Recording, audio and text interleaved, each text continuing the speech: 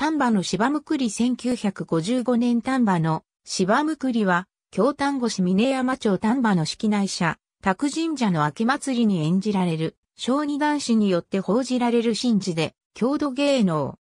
その林声から、芝むくりチャーあるいはターンに、チャーとも呼ばれる。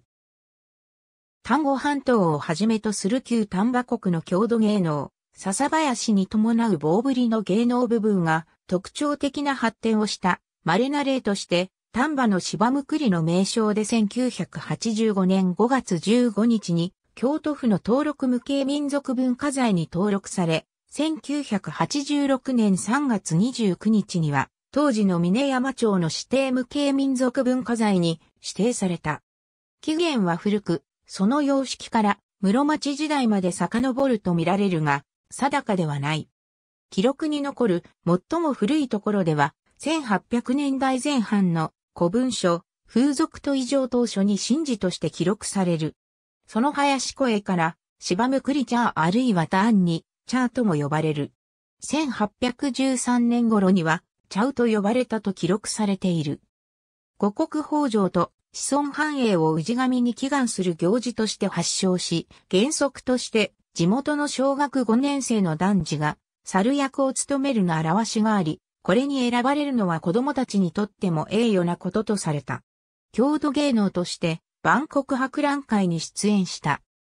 丹後地方に広く伝わる、笹林の一種であるが、室町時代後期の風流の形式を残しながら、笹林の棒振り部が特に発展した希少な事例として、1985年5月15日に、京都府の登録無形民族文化財に登録された。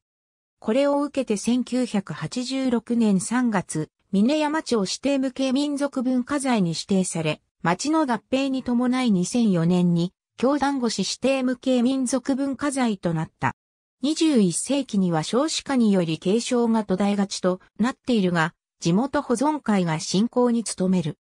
丹波の芝むくりと同様の伝統芸能は、全国に3カ所知られていて、田島地方に多い。洋府市洋花町旧市家の日枝神社に伝わる、洋花町旧市家残坂踊りなどもその一つであり、兵庫県指定の無形民族文化財に指定されている。一説によれば、芝むくりの芝は、縛る、むくりは、猛虎を意味する。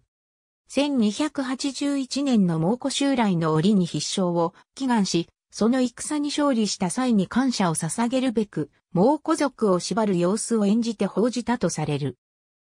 しかし、神事家の由緒はさらに原始的な風情の高いものである。ことから、神に奉仕する猿が、みこしの渡御に先立ち道の芝を取り除いたり、先導を務める若者川佐護地区で、道中の悪鬼を払い清める様子から、古事記に描かれる、天孫降臨の際に、土地の神である猿田彦が、途中まで迎えに出て道案内をしたという故事を、かたどったものが由来と思われ、丹波の芝むくりの発祥は、猛虎襲来以前に遡るとするのが定説である。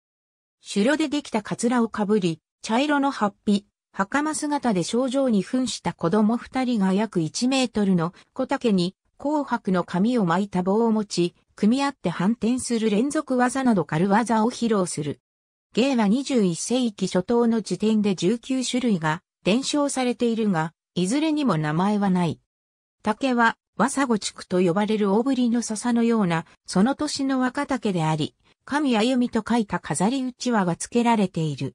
この装飾は、この役が本来は、笹林における先導役、新ポチであることの名残である。